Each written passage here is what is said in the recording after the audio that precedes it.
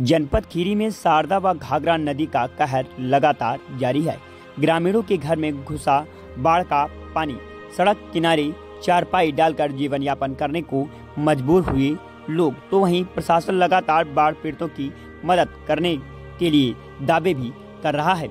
हम आपको बता दें, जिन ग्रामीणों के मकान पक्के नहीं बने हैं व सड़क किनारे चारपाई डालकर जीवन यापन कर रहे हैं तो वहीं कुछ लोग खुले आसमान के नीचे छत पर बैठकर जीवन व्यतीत कर रहे हैं। जनपद खीरी की पाँच तहसील बाढ़ प्रभावित क्षेत्र में आती हैं तो वहीं आवागमन पूरी तरीके से बाधित हो गया है।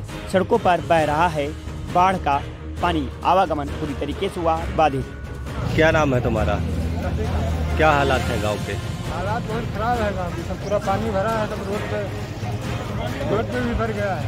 अच्छा, तो सामान लेके कैसे आए हैं आप लोग? सामान अपने नाव से लेकर आए हैं वहाँ कोई प्रशासन की तरफ़ से क्या मदद मिल? रही है कोई मदद नहीं मिली प्रशासन की तरफ़ से? क्या और कितना पानी भरा हुआ है वहाँ गाँव के अंदर? पानी गाँव के अंदर कमर भर है कमर से ऊपर भी है कमर भर है। तो अपने आप सब लोग सामान ला रहे हो नाव के बाद